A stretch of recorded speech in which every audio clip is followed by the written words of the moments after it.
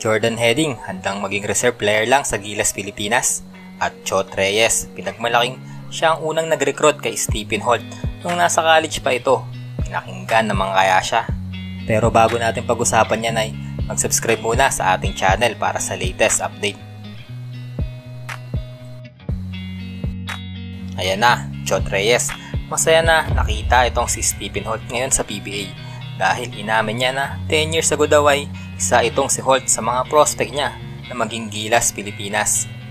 Sinabi nito na personal pa daw siyang lumipad ng United States at bisitahin to sa St. Mary's College para lamang i-recruit at para maglaro sa Gilas, Pilipinas. 10 years ago daw ay alam niya na ang kalidad nito bilang isang player.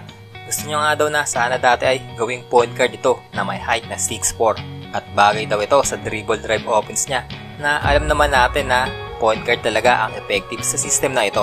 Katulad na lamang ni Jimmy Alapag at Jason Castro.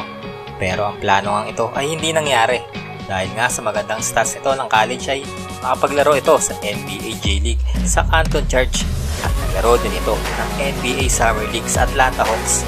At pagkatapos nito ay naglaro na ito overseas sa iba't ibang liga sa buong mundo sabi naman ni Reyes ay mabuti daw ay nandito na siya sa Pinas at malaki ang tulong ito sa kanyang mother team na Terra Firma at naglala ito against TNT ng 24 points, 8 rebounds at 7 assists.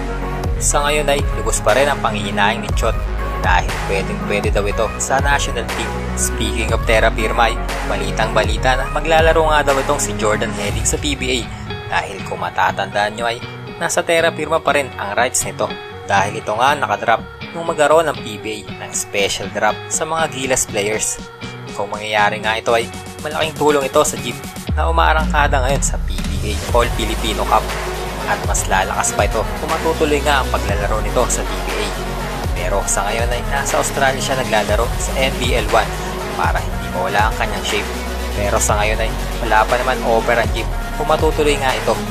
Um, I mean, I okay. haven't personally had any talks with anyone yet. Um, obviously, um, yeah, I haven't I haven't heard from Gilas. I haven't heard from Terra Firma yet. So um, I'm just just hanging out. So I was I had a contract to go back to Japan, um, and then that fell through. Uh, because of visa stuff, so kind of had to fall back to Plan B, and I'll just I'll play in the NBL one here in Adelaide um, and stay local.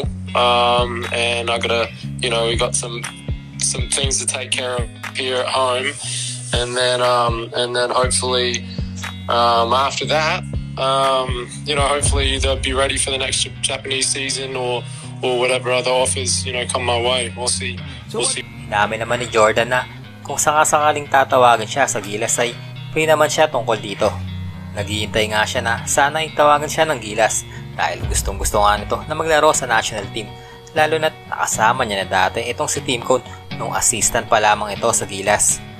Of any types of calls for anything to, to come. I mean, if I'm being honest, I think I would be very excited to get a call from Gilas. I mean, um, yeah, I mean, everyone would love to play for Gilas. Everyone wants to play and put on that jersey, um, and I'm no different. You know, every time that I, every time that I put on the Gilas jersey, you know, it's just it's it's something different. You know, playing for the country. So I think that that would be extra special. Um, yeah, and, and as far as a, a club wise, um, you know, I, I don't want to put anything specific out there. You know, I'm just open to, to, to what the right move is for, for my wife and I. Uh, I mean, obviously that's not up to me, but I, I have confidence in myself that I have things that I can bring to the table that would, would always help a team. Um, but at the same time, I think they've got a great group of guys, and, and obviously they had such a strong showing um, that, you know, there's a lot of excitement about the program right now and, and the way it's heading. Um, and obviously, I'd love to be a part of that if they want me. Um, but you know, at the same time, they yeah, they looked really good.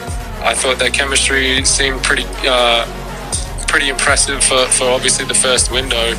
And uh, you know, Justin Brownlee's all class, so so he makes everyone look really good.